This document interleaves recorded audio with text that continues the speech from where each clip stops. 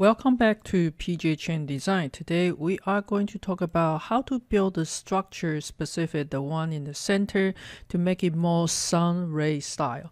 Are you ready? Let's get started.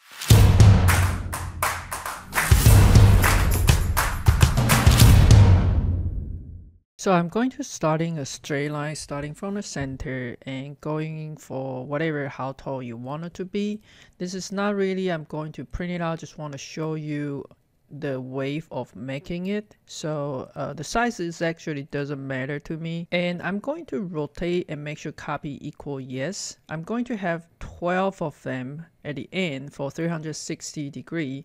So I'm going to divide it 360 into 24 and make a curve on the left and make a curve on the right. 360 divided by 24 if you uh, don't have the calculator you can do something like that.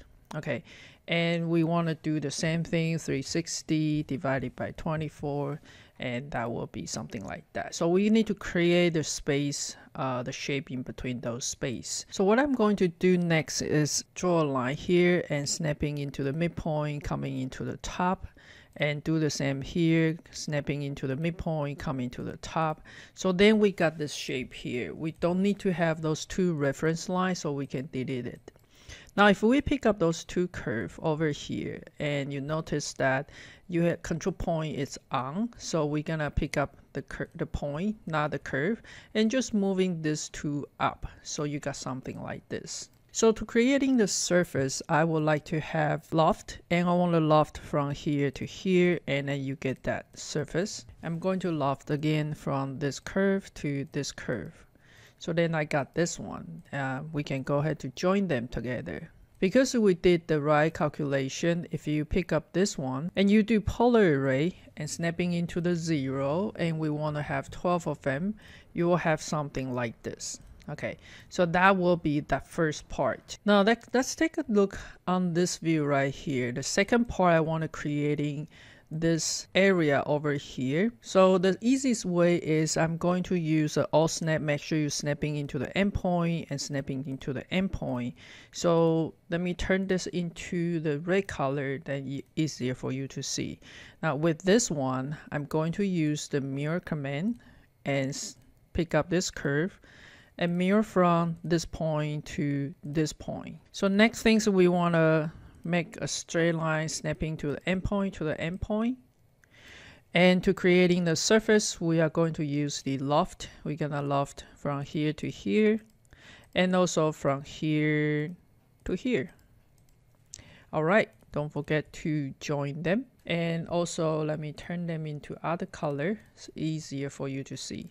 So now I have that. Even though this is not exactly on our construction plan that's okay because we know there are 12 of them. So let's go ahead to polar array again. And we can do 12 of them so it become like this with a lot of facet. If you take a render view then you got something like that. And you can continue to build this one going up even more and getting bigger and bigger to create your own pattern. I'm going to stop it here and show you how to get them into the solid. Let me join all of them together.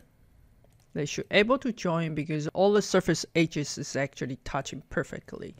All right, so I'm going to use the commands duplicate border and I'm going to duplicate border of that one. As you can see, it's follow the edge over there. And I'm going to go on the top view, use the command project to C plane and make sure that you want to delete the input. So now you can see they are completely flat. With that one, we are going to make it into the surface by extruded straight and then now we have this surface there. We are going to use that to trim off the surface on the top. So if we join rest of it together, then we will have this high over there. Now, if you feel like this is too fat, uh, what you can do is you can draw another line, go over on the bottom and simply just trim it on the bottom over here. So now if you look at the bottom, it look like a couple of box so to make it into the solid, we're using the cap command. Then this one will be completely solid. Let's take a look on the render view. So now you have a high. All right, so now this is the basic shape. We can coming over there for the stone setting. So I'm bringing one of the stone. You want to know how to make this stone. I have on the right top corner to show you uh, how to make the diamond video or you can download this stone for your practice. The link is in the description below. Okay, so for this stone, I'm going to turn everything else off so it's easier for you to see. First of all, we need to make a underseat bezel and I'm going to snap snapping into the vertex over here and bring it down just about like this one and for about this long. As long as your culet does not stick it out, you will be fine. And then uh, we do need to have a bevel edges. So that's using the chamfer command. And we want to chamfer this one for maybe 0.3 millimeter. And let's pick up the edge inside and then so that is chamfer as you can see there's a chamfer there so it's more friendly for your jeweler let's turn on this one and see. This is kind of a little bit too low so I'm going to bring up just a little bit. We don't actually need that long but we can trim it later with the prong together. So I'm going to do is draw a straight line snapping into the zero and bring it down something like this. And I also want to bring it over close to my stone. So let's turn off everything so we can just deal in with this one. Also turn the stone into other color. And we simply just need to pipe this pipe this one. So let's go ahead to use the pipe command. And for something about this size make sure the pipe is rounded on the top. And we want to move in just a little bit. Make sure you are not cutting too much of the prong, the prong will break.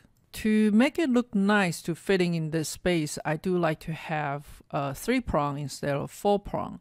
So what I like to do is pick up this prong and I'm going to use the rotate command and copy equal yes I'm going to starting with here for the first one is 120 degree the second one is 260 degree. So then we'll, I will get it perfectly like this. Now, if you turn on what you have there and you like the result, then you can boolean them. But for the casting purpose, this one is not touching. So that way you won't have a good casting. What I like to do is actually moving this down so they are actually touching and sometimes I'll intentionally make this slightly bigger just because I will have a better casting over there. Alright, so now this is what we have. I'm going to boolean all of this by boolean union and I also want to draw a box to cut out the rest of it and to be even on the bottom. So I'm going to use the boolean difference, this one out of the box. So the bottom will be flat. Again, we are going to use the polar array. We know there's a number 12 over there, so let's hit the center. And then uh, numbers 12, then we'll have all of them there. Once you add the jump ring, you put the bell, then it can be a pendant or it can be a earring. Write it down in the comment. Let me know what you think about this technique. And thank you for watching. I'll see you next.